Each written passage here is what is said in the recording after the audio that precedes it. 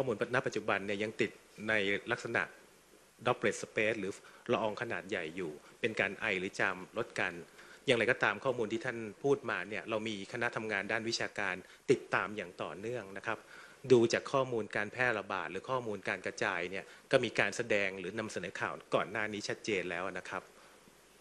ขอยืนยันว่ายังณขณะนี้ข้อมูลทางการแพทย์เนี่ยยังเป็น droplet space อยู่นะครับ ก็คือติดต่อในระยะใกล้ไอหรือจามลดกัน เป็นละอองฝอยขนาดใหญ่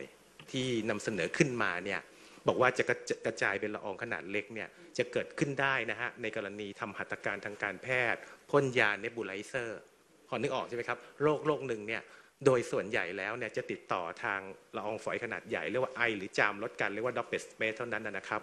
แต่ถ้าเกิดสมมุติว่าคนไข้คนนี้อยู่ในโรงพยาบาล แล้วเราต้องทำหัตถการที่ ซับซ้อนมากขึ้นมีความละเอียดมากขึ้นละอองมันจะมันจะแตกออกได้แล้วมันจะอาจจะไกลมากขึ้น ดังนั้นจึงเห็นว่าคุณหมอที่อยู่โรงพยาบาลเนี่ยเวลาเข้าไปดูแลคนไข้ต้องเสื่อมสวมเครื่องป้องกัน PPE อย่างมากขึ้นนะนะครับเอ็นเนี่ยมีการรักษาโดยใช้ยานะฮะเช่นยาที่ได้รับการรับรองอย่างฟาวิพิลาเวียนะครับผมต้องเรียนว่าในคนไข้เราเนี่ยทั้งสองรายนะครับได้รับยาดังกล่าวนะครับ แล้วก็มีการนำ เครื่องมือไม่ว่าจะเป็นเครื่องปอดหัวใจเทียมเอ็กโมเนี่ยเข้ามาใช้ในการดูแลคนไข้อย่างอย่างเต็มที่นะครับ สิ่งที่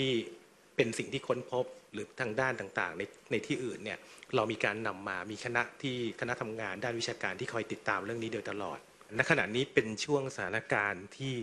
ลดการป่วยนะฮะลดการป่วยและลดการแพร่กระจายนะครับ เรารับมือกันในช่วงนี้อยู่ ซึ่งจะ ไม่เหมือนกับในประเทศอื่น ๆ ซึ่งมีการเรียกว่าระบาดอย่างต่อเนื่อง หรือมีการแพร่เชื้ออย่างต่อเนื่องนะครับ ความสำคัญจะอยู่ที่พี่น้องประชาชนในการปฏิบัติตน เรียนเน้นย้ำอีกครั้งนะครับ ว่าสำหรับประชาชนทั่วไปหน้ากากอนามัยเนี่ยแบบผ้าธรรมดาเนี่ยเพียงพอละนะครับสำหรับบุคลากรทางการแพทย์ที่ไม่ได้สัมผัสใกล้ชิด หรือไม่ได้ทำหัตถการที่มีความเสี่ยงก็หน้ากากอนามัยแบบปกตินะครับที่ใช้อยู่ในโรงพยาบาล นะครับรวมถึงถ้าต้องทำหัตถการใกล้ชิดก็คือ N95 นะครับขอเน้นย้ำนะครับอีกครั้งหนึ่งว่าประเด็นที่ 2 ก็คืออยากจะให้ฟังข้อมูลการแถลงข่าวอย่างเป็นทางการของกระทรวงสาธารณสุข เพราะเวลาต่อเนื่องกันไปเนี่ยจะมีข้อมูลที่